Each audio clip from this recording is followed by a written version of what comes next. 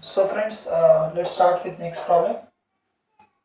A slab of copper of thickness B is inserted in between the plates of a parallel plate capacitor as shown in the figure. The separation of the plate is D. If B is equal to D by 2, then the ratio of capacities of the capacitor after and before inserting the slab. तो इसका दो दो part करते हैं पहला before लिखते हैं। Before का कितना है उसका दिया डी दिया है ना? डी दिया है। ये हो गया बिफोर और आफ्टर इंसर्टिंग क्या हुआ? कॉपर का शीट इंसर्ट किया है उसमें। इसका कितना दिया है? बी दिया है। और इसका डी दिया है। ओके और सपोज़ इसका सी है और इसका सी डैश है तो उन्होंने पूछा है ratio of C dash upon C okay now first we will use the formula for dielectric slab inserting dielectric slab i i, I think i have given you this hmm? uh, one day uh, in one video i have given मतलब uh, एक minute हाँ मैंने hmm दिया है okay तो ये आएगा A epsilon nought upon D minus T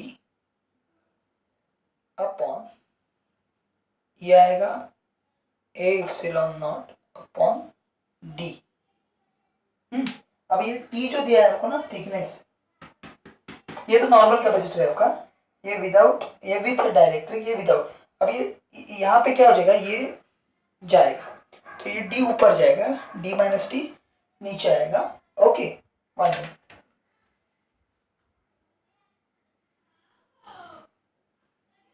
okay so D will be going up and D minus T अभी टी कितना दिया है? T is equal to B and B का उन्होंने कैलकुलेशन दिया है कितना है वो।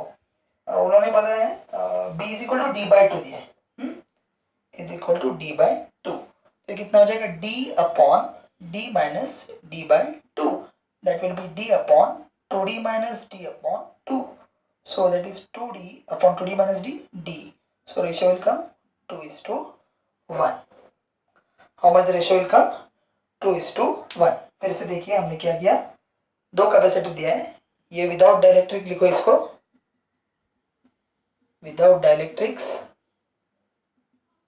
और इसको लिखो विथ डायलेक्ट्रिक्स यह है विदाउट और यह है विथ और ये इसको बोलेंगे आफ्टर आफ्टर प्लेसिंग तो ये फॉर्मूला इंपॉर्टेंट है। ये तो सिंपल रेगुलर का है। ये आपका D minus T dielectric of thickness T इसका है। ये जरा देख लो। Let me check whether the okay writing is visible no problem okay ये लिख के लो। बाद में आगे का प्रॉब्लम लिख लेते okay now next problem is about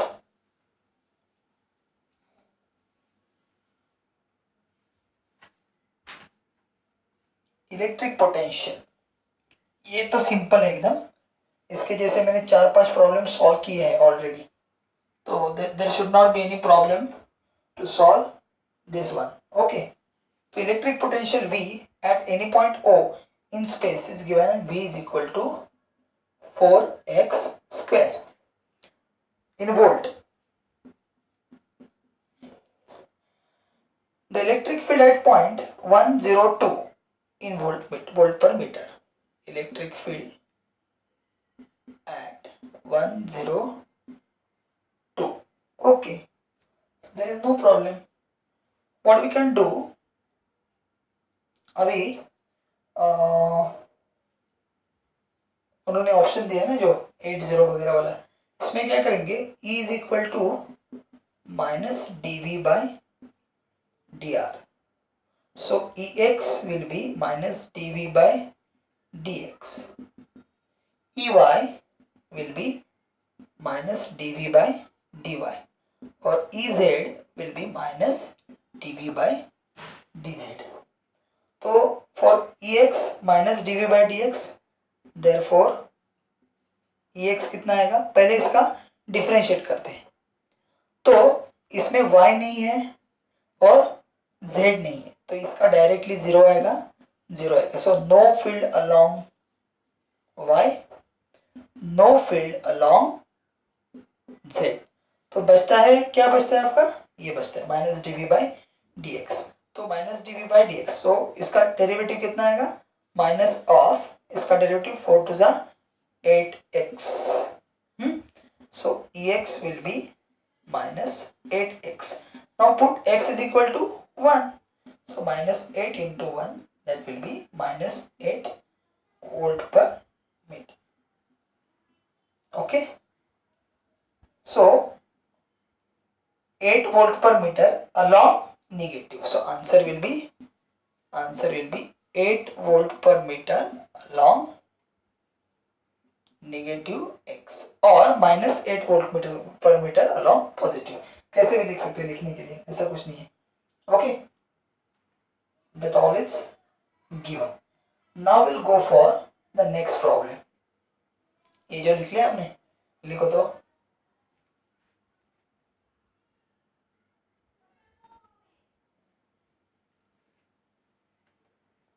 Now we'll go for the problem number 8 A parallel plate condenser is connected with the terminals of a battery. The distance between the plates is 6 millimeter. So D is given as 6 millimeter that is 6 into 10 raised to minus 3 meter. If the glass plate K is given as K is equal to 9.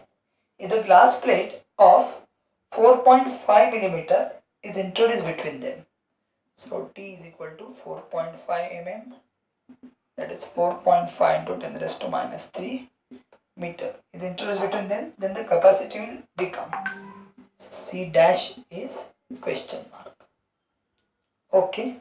So first of all C देखो, C is equal to A epsilon naught upon D ये same question है। जैसे हमने अभी के अभी के इससे पहले जो सॉल्व किया था the same like that it is there थोड़ा सा उसमें चेंज करना है खाली। इसमें आप when you keep that dielectric slab okay so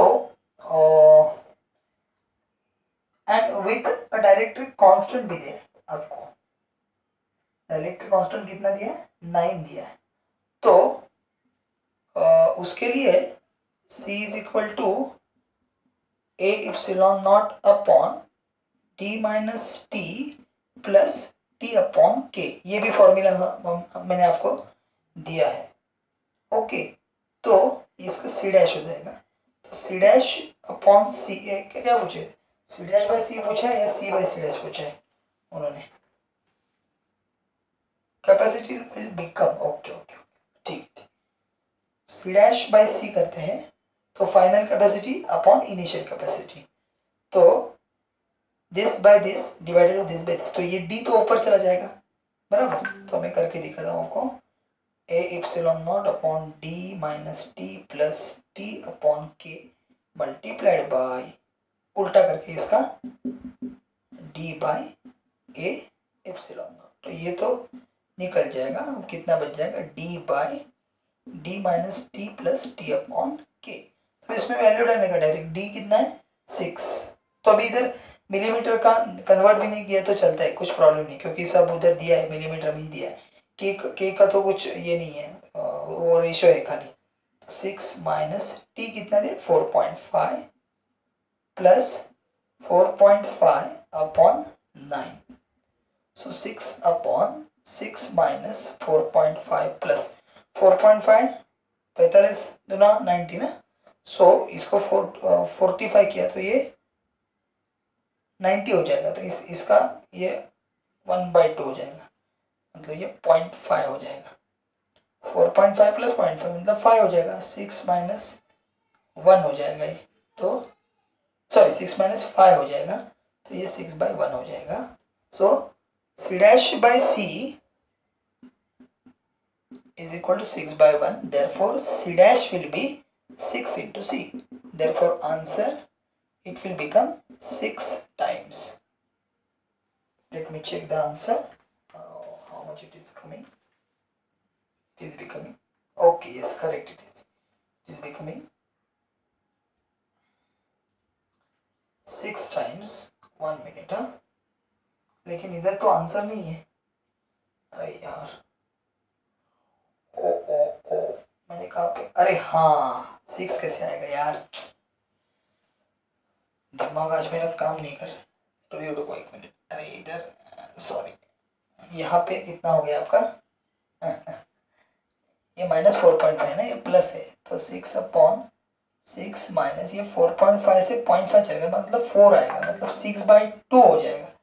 six minus four ना मतलब थ्री इज टू वन आएगा okay C dash upon C is equal to three is two one there four C dash will be three C there four answer is equal to three times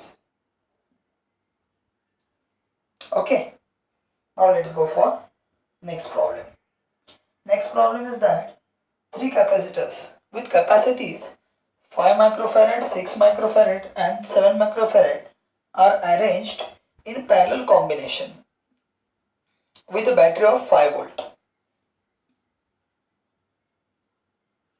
the voltage across each capacitor is पहले तो capacitor को parallel जोड़ा है मतलब voltage across each capacitor same रहेगा हम्म वो diagram भी निकालने का ज़रूरत नहीं है एक्चुअली लेकिन फिर भी ठीक है निकलता कुछ प्रॉब्लम नहीं है so as the capacitors are connected in parallel voltage across capacitor each capacitor will be same and that voltage can be calculated as q is equal to cv so v will be q upon c. Okay. So 5 6 and 7 are arranged in parallel. 5 microfarad 6 microfarad and 7 microfarad 5 microfarad 6 microfarad and 7 microfarad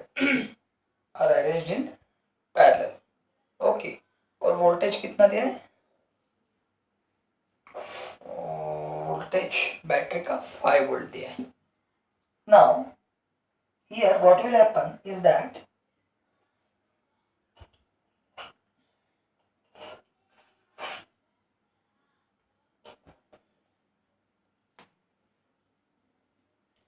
यहाँ पे अगर V है hello यहाँ यहाँ पे अगर V है तो ये भी V बन जाएगा, ये भी V बन जाएगा ओके तो आपको टोटल वोल्टेज दिया है। तो पहले आपको निकालना पड़ेगा Q1 इसके ऊपर Q1 इसके ऊपर Q2 इसके ऊपर Q3 okay okay. Q1 Q2 and Q3 because V can be written as हाँ Q1 one upon C one is equal to Q two upon C two is equal to Q three upon C three ये same आ जाएगा। तो उस, उसको निकालने के लिए ये फाइव वोल्ट दिया है ना तो ये करने का ज़रूरत ही नहीं है। क्यू टोटल निकालो डायरेक्ट पहले। Q total is equal to C equivalent into V C equivalent कितना आएगा? Five six seven eighteen so 5 plus 6 plus 7 multiplied by 5 so 18 into 5 so, that is 90 microcoulomb. Okay total बन गया 90 microcoulomb बन गया आपका। और अभी Q is equal to C V अगर V कॉन्स्टेंट है then Q will be directly proportional to C so Q1 one is to Q two is to Q three will be five to six is to seven इसको तो अभी कुछ problem नहीं है। अपना directly unitary methods के जैसा करना है। Five X plus six X plus seven X is equal to ninety so 18x हुआ ना 18x is equal to 90x will be equal to 5 तो चार्ज कितना बन जाएगा? 5x तो 5 5 जा 25 माइक्रोकुलम ये 5 सिक्स जा 30 माइक्रोकुलम एंड 5 7 जा 35 माइक्रोकुलम अभी v कितना बन जाएगा? कुछ प्रॉब्लम नहीं है। V directly q1 25 upon 5 5 volt ये तो आंसर हो गया आपका। मिल गया आपका आंसर आंसर निकालना की कोई ज़रूरत नहीं था, लेकिन ठीक है so five volt will be the correct option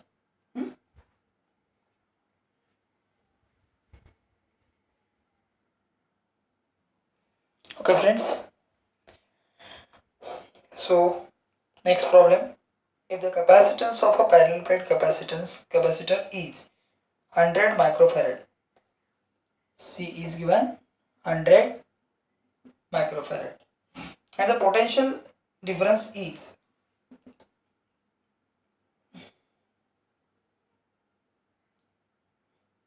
Seventy. Actually, that should not be uh, microfarad. Huh? make it make it corrected 70 volt The quantity of charge stored on each plate hmm. so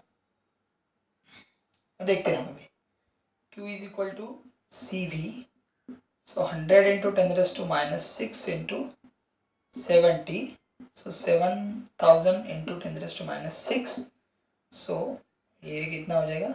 Seven into ten raise to minus three coulomb seven milli coulomb हो जाएगा। बन गया आपका answer seven milli coulomb each कैसे किया? उसको microfarad की जगह उसको सेवेंटी वोल्ट करो हुँ?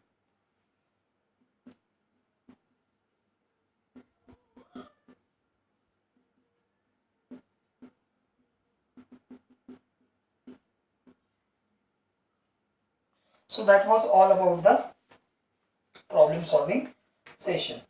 Now the last thing which is remaining that is the overview. Okay, what we learned not only today, totally what we learned. We will take the overview and we'll call a day. Okay.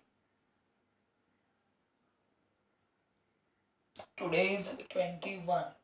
Okay and your exam is preponed na on 23 so uh, tomorrow also your lecture will be there then okay i will have some uh, lectures okay so what i, I want to uh, do with is that uh, i will al- also give you some problems okay and uh, we'll try to solve them actually that was not in my plan but still i i wanted to speak with you about them okay एक problem दिया है जो मैं कभी इधर लिख के देता हूँ यू ट्राई टू सॉल्व मैं भी सॉल्व करता हूँ ऐसा कुछ नहीं मेरे साथ साथ सॉल्व करो ये मैंने दिया नहीं था प्लान में दिया नहीं था लेकिन कहीं भी लगता है ना, कल मेरा लेक्चर नहीं हुआ तो मन में कुछ अपना खटास नहीं रहना चाहिए।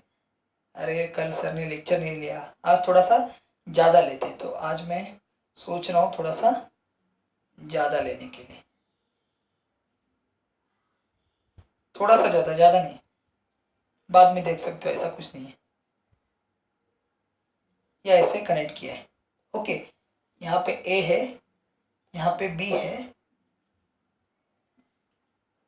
ओके और क्या पूछा है equivalent capacitance between C A B is equal to question mark उसका ऑप्शन दिया है टेन बाई थ्री बाद में दिया है एट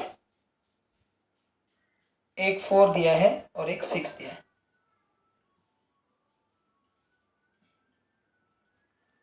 so, let's start.